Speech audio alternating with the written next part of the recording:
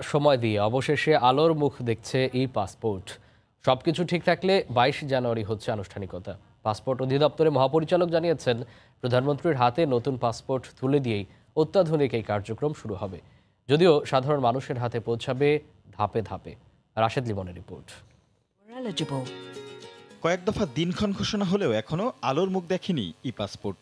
দিন গড়িয়ে পেরিয়ে গেছে মাসের পর মাস। তবু কার্যক্রম শুরু না হওয়ায় কিছুটা হতাশ পাসপোর্ট প্রত্যাশীরা। তিন চার মাস যাব দেখা যাচ্ছে কি পাসপোর্ট দিবে দিবে আমরা শুনতেছি। পাসপোর্টটা হচ্ছে হচ্ছে করে হচ্ছে না। তাড়াতাড়ি যত তাড়াতাড়ি হবে তত তাড়াতাড়ি আমাদের ভালো হবে। তবে কর্তৃপক্ষ বলছেন, এবার আর নটচর হচ্ছে না কথায়। শিগগিরই শুরু হবে আনুষ্ঠানিকতা। তবে একবারেই সবাই আসবে না এর আওতায়। প্রাথমিকভাবে মানতে হবে কিছু শর্ত। আমরা যেভাবে কাজ এগিয়ে নিয়ে যাচ্ছি, আমরা অতি শীঘ্র হয়তো একটা সুখবর আপনাদেরকে দিতে পারব।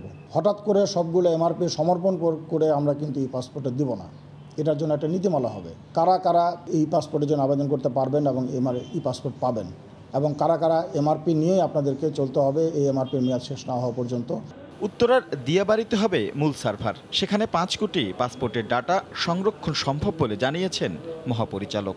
আটচল্লিশ পাতার পাঁচ বছর মেয়াদের ই পাসপোর্ট পেতে গুনতে হবে সাড়ে তিন হাজার টাকা আর দশ বছরের জন্য পাঁচ হাজার টাকা। চৌষট্টি পৃষ্ঠার দশ বছরের মেয়াদি এক্সপ্রেস পাসপোর্ট পেতে খরচ হবে বারো হাজার টাকা।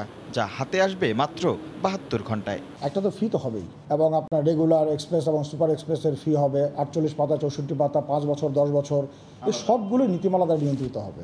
প্রাথমিকভাবে আগারগাঁও উত্তরা যাত্রাবাড়ি ও ক্যান্টনমেন্ট থেকে দেয়া হবে নতুন এই পাসপোর্ট। পরে বর্ধিত হবে সবগুলো জায়গায়। পরিকল্পনা আছে বুথ বাড়ানোর।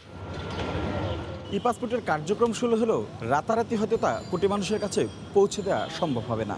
তারপরও গতি আসবে পুরো পাসপোর্ট ব্যবস্থাপনায়। তাই তো সাধারণ মানুষের প্রত্যাশা, আর কালক্ষেপণ না করে এবার অন্তত শুরু হোক এর কার্যক্রম।